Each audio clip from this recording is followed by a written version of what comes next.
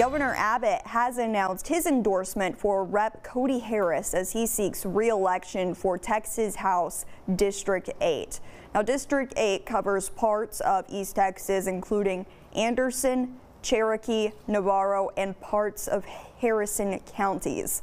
Governor Abbott has shown his support for Republican candidates who are in support of his school choice plan. Representative Harris has held a seat in the Texas House since 2019.